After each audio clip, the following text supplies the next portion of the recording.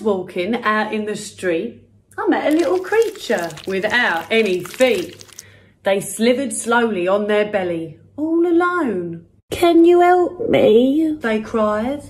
I can't find my home. Oh dear, I said. I'll try my best. We'll find where you belong in your home, house or nest. We'll work it out and we'll follow the trail. What kind of creature are you? I think I'm a snail. A snail? Are you sure? You don't have a shell. Yes, I'm quite sure I am. Can you not tell? Well, perhaps you're a snake or a wriggly worm. No, I don't think that's right. They began to squirm. I wish I could help. I can't make head nor tail.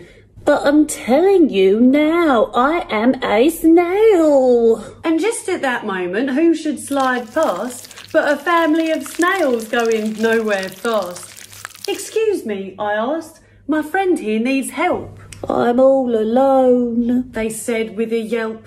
You see, they aren't quite sure where they belong. They say they're a snail, but I think that's wrong. Why do you think that? The big snail spoke out. If they say they're a snail, have we reason to doubt?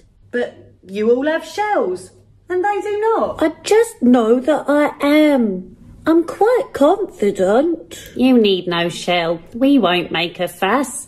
If you're a snail, you can come live with us. Oh, really? They squealed. That's ever so kind. Of course, They all cried. we won't leave you behind. But I still don't understand. If they're a snail, I can't tell. That's because you're busy focusing on a shell. Tell me, how will you know if I am funny?